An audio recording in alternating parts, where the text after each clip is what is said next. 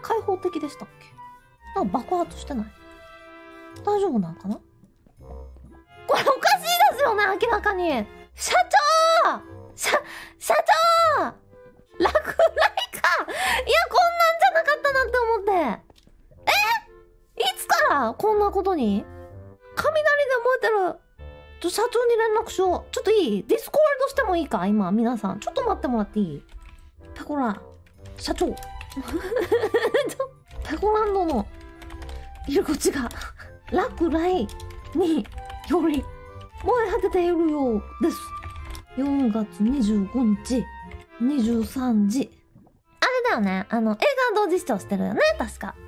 え、落雷ってこんなことになるのかよ。えー、ひどいなこんなことになるのか。落雷って怖いな羊系が燃えるんだよね。まあ、屋号の頭はね、全部燃えてくれた方が都合がいいんで。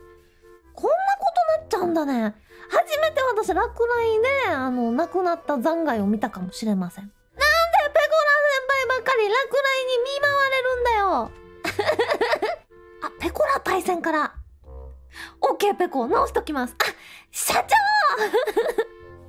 社長がオッケーペコ、直しときますって。社長、ありがとうございます。社長が。